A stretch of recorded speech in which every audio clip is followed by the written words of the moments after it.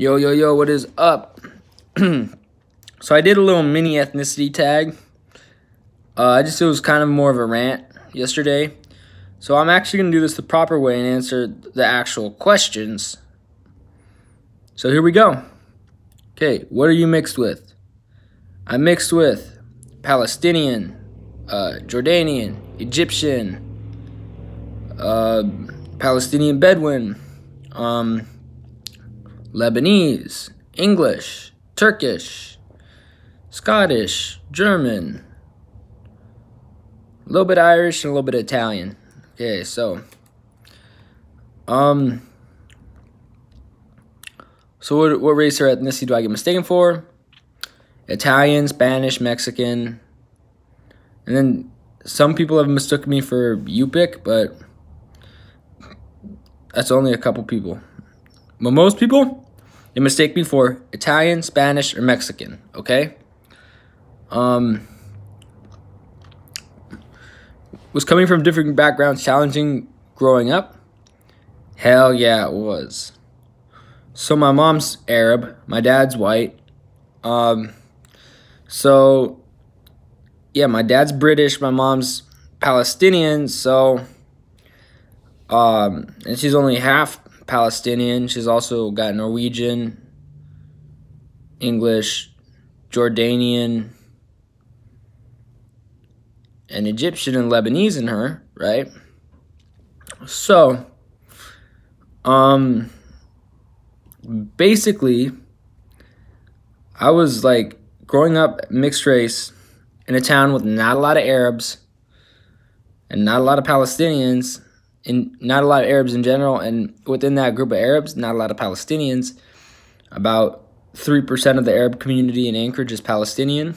So, um, growing up in Anchorage, Alaska, like, I had, like, identity crisis. I had an identity crisis, and I tried to fit in with the Mexicans, uh, the Peruvians, the Dominicans, the Puerto Ricans, the Colombians, the Samoans, the Tongans, the Hawaiians, the Yupiks, all of them.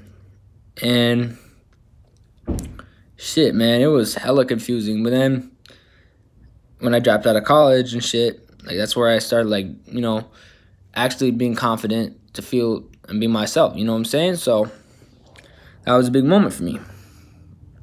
Okay. Um what background do you embrace most? The background I embrace most is Palestinian. Feel me? Because um, I grew up with my mom's side of the family.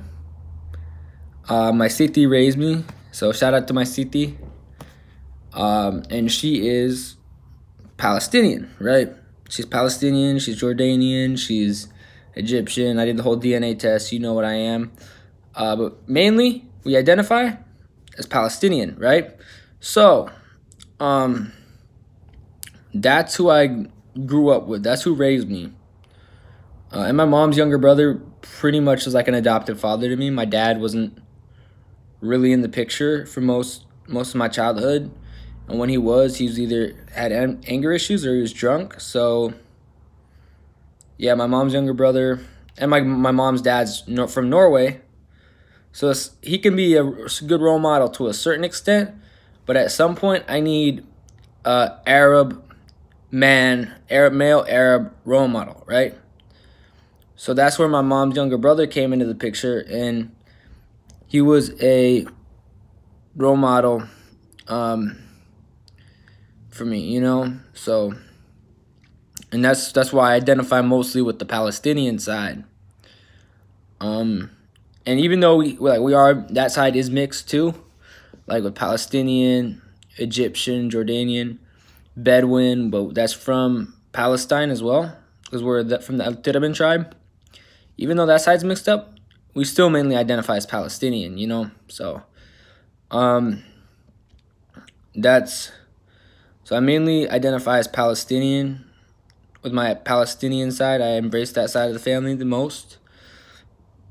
And have you ever been teased for being different? Hell yeah. Hell the fuck yeah. white people said I'm not Arab, or black people said I'm not Arab. Like, yeah, no, I've gotten hella shit for being mixed race.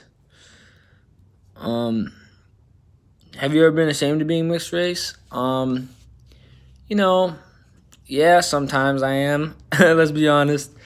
Um, and you know, I'll never, never date a white woman. I will never marry a white woman. Uh, that's just something I can't do. You know what I'm saying? I promised my siti I'd, I never, I'd never do that. You know, so I promised my siti I'd never marry a white woman or date a white woman. So, yeah, I gotta stick to my promise. Um, do feel that being mixed race has its benefits? Oh, uh, yeah, to a certain extent. I'm light skinned. Well, that's not a that's not a benefit, but um, yes and no. I'd say, but not really. I don't think. So for me, being mixed race. I mean, there's two different cultures associated, or several different cultures associated. Um, and so that's a good part because I can learn a lot of cultures. Um, but there's also the fact that uh, because of colonialism, like my dad, my dad's country colonized my mom's country. Okay. Um, what else? Colonialism. Oh, also like the my mom's like really like some people in my family are really whitewashed and internalized racism and Islamophobia a lot. So yeah, it's so we don't really so I don't really get along with those relatives that have internalized racism and Islamophobia on my mom's side. Um and yeah, that's so that's that's one of the, the, the cons, but benefits of being mixed race is like you get to be participate in a lot of cultures and you get to claim a lot of cultures and that's that's the main benefit. Um, what makes me, being mixed race a beautiful thing? Just being from different cultures, having a mix of cultures in your background. Um, but I'm I'm biased towards some of the cultures more than others. If you feel what I'm saying. The three most that I'm biased towards are Palestinian, Jordanian, and then a third place is going to be a tie between Egyptian and Lebanese.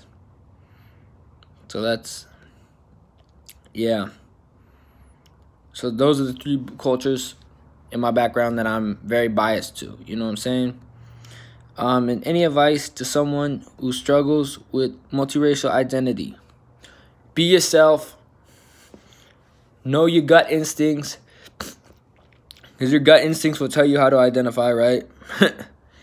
and, and if you're part Arab, identify with the Arab side. You feel what I'm saying? So, that's pretty much all I got. So, like, subscribe, comment. You know the drill. Share that shit on Twitter.